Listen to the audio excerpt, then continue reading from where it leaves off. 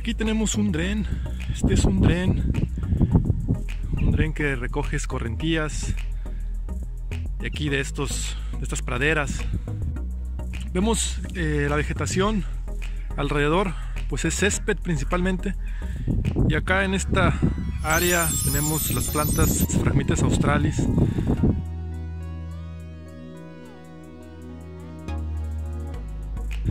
Las cuales, bueno, ahorita en tiempo de invierno se secan.